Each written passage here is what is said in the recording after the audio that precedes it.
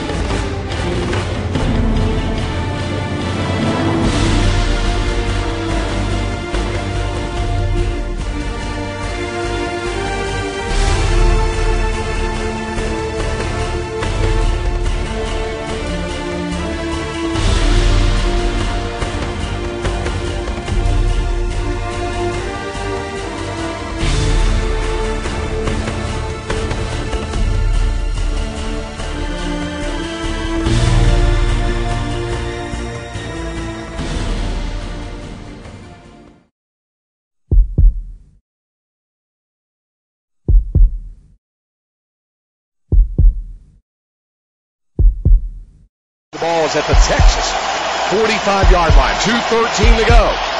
Leinart under center. He'll hand off to White. He didn't get it. The Longhorns stop it at the 44-yard line. Texas is held, and the Longhorns take over at the Texas 44.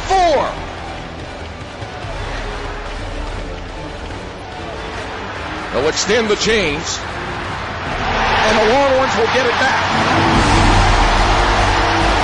The season yet lives.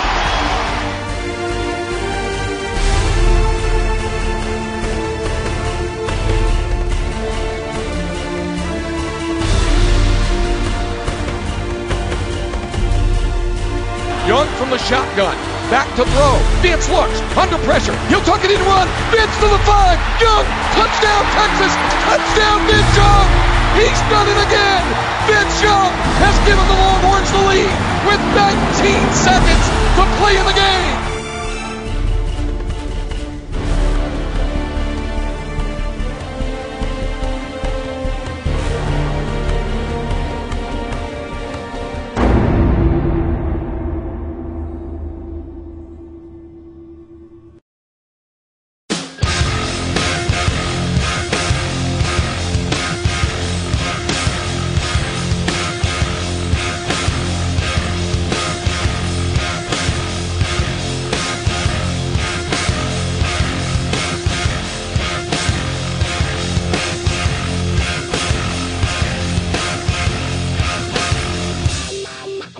Who would it